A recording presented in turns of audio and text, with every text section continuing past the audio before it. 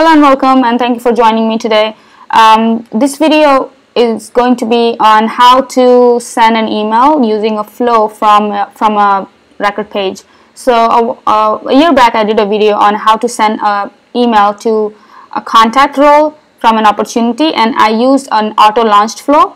That's a type of flow, auto launched flow and um, this was being launched by a process builder on some um, attributes being set and then the process builder would then launch the flow and send an email. But um, I had a question on how, how can we use the same flow uh, or similar flow to use actually a button which the user can launch and send an email to the contacts. So first of all, um, let me open this flow that I already built. And if you want to check out how I build this uh, build that flow, please check out the other video that I have. Uh, but I'm gonna quickly walk you through on what's there. And this is an auto launch flow which is why we don't see any screen element on the interaction. Um, and basically what this is doing is looking up all the contact roles from the opportunity. So it's querying on all the contact roles and then um, it's getting the contact ID and querying the actual contact record from that contact ID and getting the email from there. And then we are making a decision saying that hey if the email is not empty then send an email. And this is a standard uh, flow action called email alert and then we are sending an email. Um, pretty straightforward. Um, now if you want to use the same flow or if you want to use this from a button then it needs to be a screen element or a screen type of flow.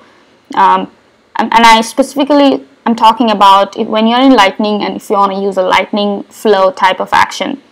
Um, so first of all we need to save this not as a new version but as a new flow because we want to save it as a screen flow and we're going to say send email to uh, contact role from page and then save it.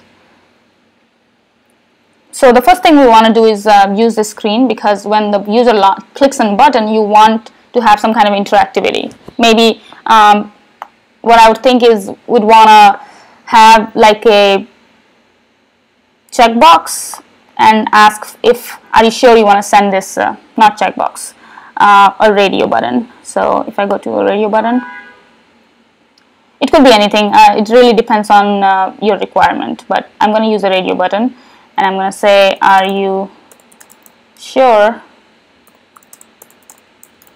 you want to send an email? And the data type since it's radio would be boolean and then we're going to create some choices since we don't have any. So add choice and uh, a choice type, resource type. Um, let's say yes. And uh, it could be just yes. That's a label. And the data type is boolean and we're going to say yes equal to true and this is a standard global constant. Hit done and let's add one more. Create another resource called and this is a also choice. No. Label is also no. That's the API name. And data type is boolean here. And we're saying it's false. That's the global constant. Hit done. And since it didn't automatically populate it we're gonna do that. Yes. And another choice is no. So see how that, that appears? That's the label yes and no. You could say whatever you want here. And um, I already have the, let's give it a name, send email confirmation screen. Um, and if you want, you can hide this header to make it cleaner and hit done. Okay, so this can uh, stay anywhere on the page. Uh, this will be the first thing that the user will see, but you can connect it any way you like. So I'm just going to connect it to here. Um, but the decision one, so now the decision is also checking for that screen answer. So if you said no, you don't want the email going out. So we're going to say confirmation, not that one, the question that we had on the screen called are you sure you want to send an email equals yes that was the answer So if, if the user selected yes, it should send an email is what we're trying to do here. Hit done. Okay, so email confirmation and it looks up all the contact roles, contact, and finally lands on decision and sends an email. That's pretty much all we need to do. Um, another thing I also want to point out is whenever you're using an action, uh, a, a flow action on a page, you want to make sure that the flow is getting that record ID. So let's say if I'm an opportunity page, and how does the flow know which ID you want to use without having to query that multiple times? So this ID is directly available on flow, but you will need to use a value called, it should be named as record type, and it won't uh, understand anything. Um, if you put anything other than record type, it won't have that value. So it has to be API name record ID, and data type is text which is id and available for input because we're taking that value from the page. Hit done and now let's also populate that record id and that's uh, that's all on this one. So it's just opportunity id we're saying equals record id that's by default gets that id value. Hit save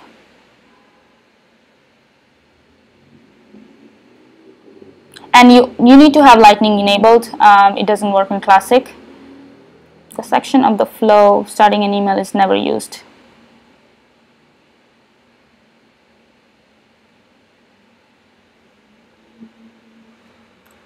Okay so that should do it.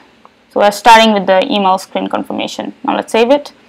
Always uh, read your warnings because they're very useful and now we can debug it. Just to make sure it works well. And we're going to provide this opportunity ID on here. That's the record ID are you sure you want to send an email? Yes. Next. And here the decision was true. All conditions must be true and it did go to the other one. Uh, meaning I should have received an email. Refresh it. And it's 333 let's uh, confirm. And there you go. So it's a random email that I used but it could be anything in your case. Um, so that's the email I just got at 333 so that means we're fine. Um, let me quickly also show you how to actually set that up on an opportunity. So if you go to opportunity object uh, setup, so edit object, here um, you will create a lightning action, not a URL type button. Because it's a lot easier, you don't have to remember worry about passing parameters like we had to in Classic, and you can just directly use the lightning action flow type of action. So when it loads, um, we go to button links and action and you need to create a light new action, not the new button. So new action and here you have an option to select from action type is flow. So that's all. And it will, it will actually display all the flows that, that are screen type that you can use here. So I think this is the one we just created and label send email and save it and then you add it to the page layout. In my case I already had added one email contact and this is how it's going to look like. If you are if you have lightning uh, runtime enabled hit yes and click next and it should send an email and uh, while, you're testing also make sure that one of your contact uh, role is primary and has a valid email ID otherwise you will not get an email. I, I had it happened to me once. Alright um, that's all for today. Thank you so much for watching and please let me know if you find this helpful or if you have any other questions um, or any other scenarios that you want to use flow for. Reach me out reach out to me. Thank you so much